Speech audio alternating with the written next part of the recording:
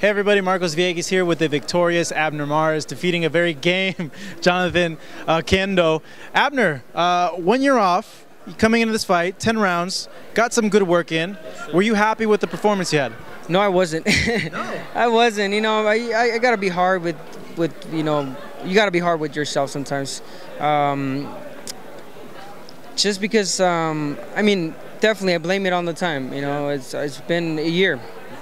11 months, you know, since I last fought. So you saw it. Uh, it felt a little ring rust, out of time, but um, nevertheless, I got the win. Uh, it's not the fight that I wanted, but again, I got the win, and I just got to get back to the gym and keep on learning. But I, I go happy, yes, because there were some improvements. Uh, towards like the end of the fight, I think that's when I started coming along.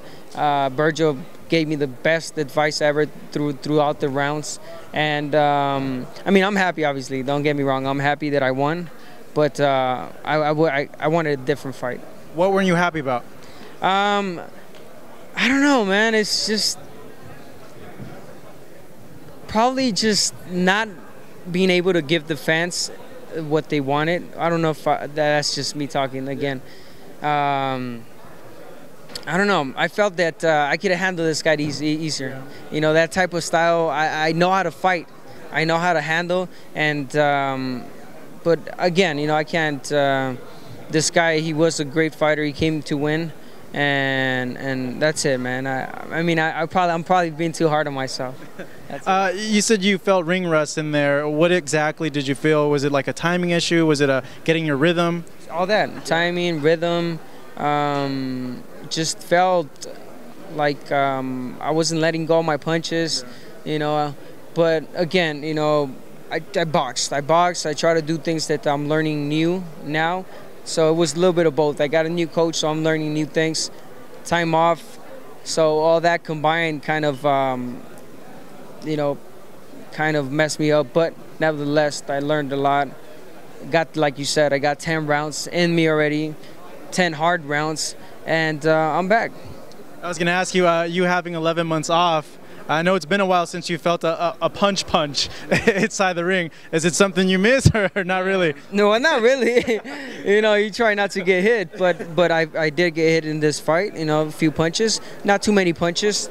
Um, and yeah, I mean, I'm back. I'm back in my sport. I'm back to getting hit, getting cut, as you can see, and um, nothing. I gotta get back to the gym, keep on learning, and get back to that level that I, I want to. I want a world title. I want to fight uh, whoever's out there, and uh, Abner Mares, like I keep saying, is back. I know you mentioned to me that you wanted to use your jab a lot more in this fight. I did see that in this fight, so that's something, uh, an improvement you did uh, improve upon. The future now, do you feel that uh, you want to get one or two more fights in just to improve more, just to get that ring rust off, off or do you want to immediately go into a 12 round championship fight? I mean, I think the smart way to do it, I think I should take another fight where I could keep on learning, where, where someone's going to give me some hard rounds and uh, just because of, how I felt today.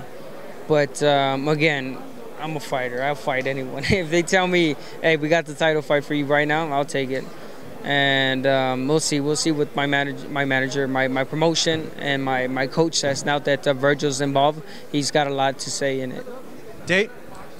Date? Uh, well, I don't know. I, I wanted September. I, I thought uh, you know I was gonna come out clean, but you know you can't predict things like this, man. But at the cut. very least, maybe at, at the, the very the least, year, right? yeah, by the end of the year, hopefully I could get one one more fight. Abner, thank you very much. Certainly thank appreciate so it. Glad you came back, thank and uh, we saw you look sharp, man. Thank you, uh, harsh critic of yourself, but you look good. Here with Abner Mares, Marcos Villegas for the Boxing Channel.